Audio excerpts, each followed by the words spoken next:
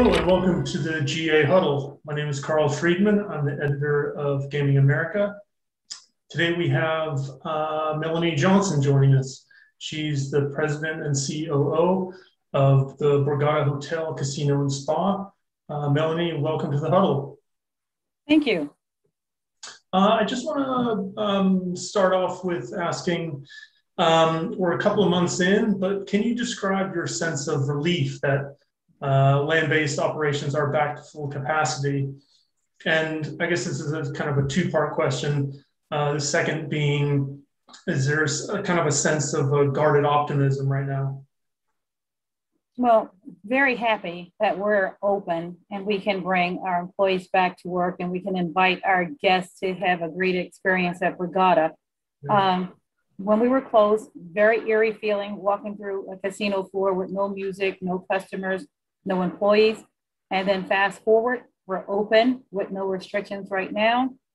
We still have employees and guests that opt to wear their face mask, which is perfectly fine. And then we have those that have been fully vaccinated, uh, like myself, who choose not to wear the mask. Uh, I was guarded initially, but now I feel more comfortable. And if there's a situation that I feel I need to wear the face mask, I do so. But having all of our restaurants open, having all of our table games open, having the slot machines open, not having to have uh, the polycarbonate barriers to protect guests, employees. It's it feels good. It feels liberating, and it's a sense of normalcy that I think all of Amer- Americans have been waiting for.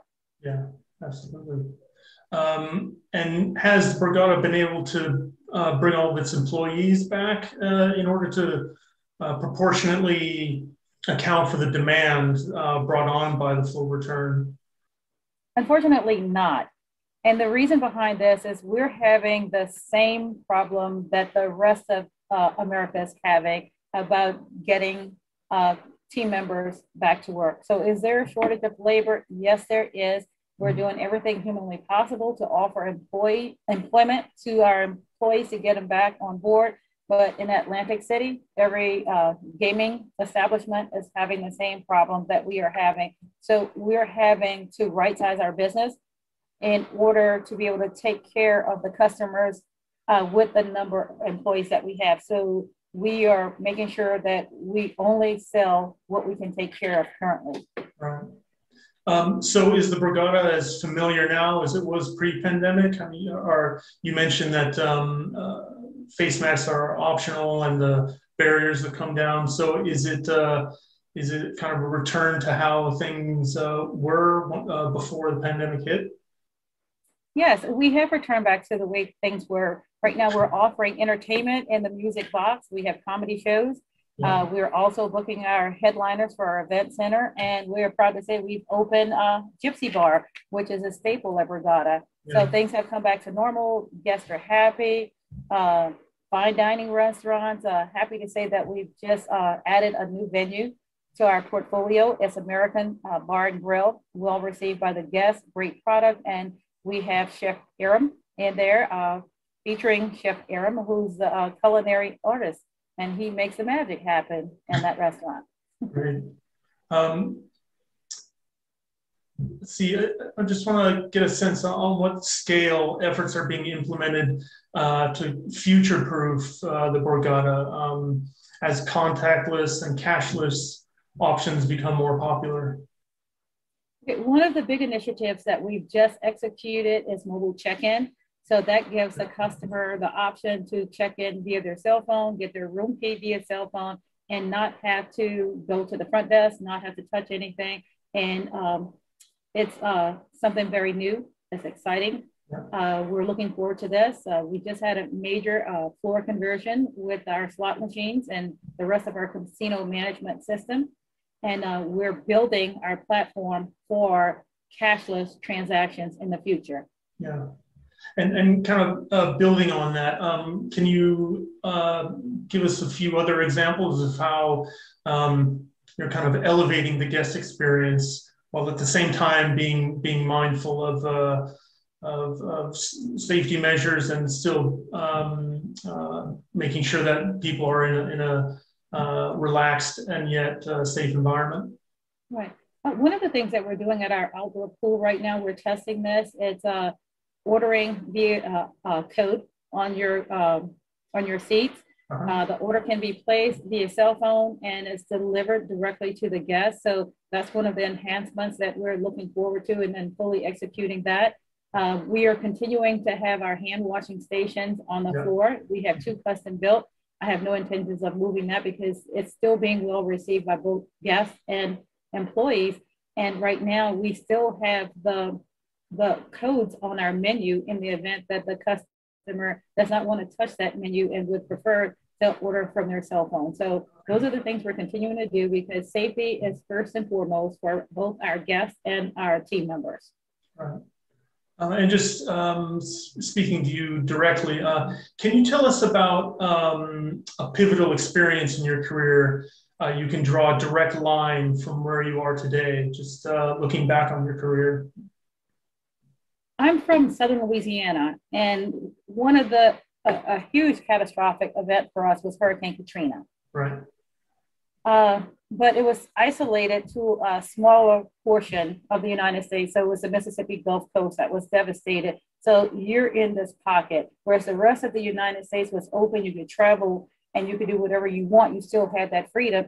But with COVID 19, it pretty much shut the world down. Yeah. And that was a very humbling experience for me where I thought Hurricane Katrina was devastating and uh, maneuvered and, and worked our way through this and recovered. But going through COVID 19, uh, everyone was on the same platform. So that just made me think very differently about how I manage myself, how I manage the property, how to manage customers, how to uh, manage employees. And have more empathy, not sympathy, mm-hmm. but empathy, walking in those shoes to make sure that we are doing the right thing every single day, where health and safety was full, first and foremost. That's why when our competitors chose to open in early July of 2020, we waited. We wanted to make sure that we had all of our health and safety protocols in place uh, in order to protect my employees and my guests and to provide an experience that was representative of Borgata.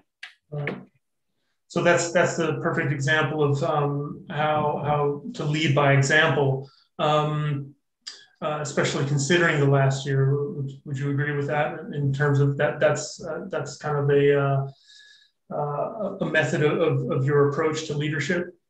Yes, it is. Uh, I believe in walking in shoes and understanding the, the employee journey, understanding the guest journey, and listening. I listening is first and foremost for me. Mm-hmm. Uh, I want to hear what you've got to say. I want to understand what you have to say, and we make decisions based upon that. I don't believe in coming in and it has to be my way. It's a team ever effort and it's collective.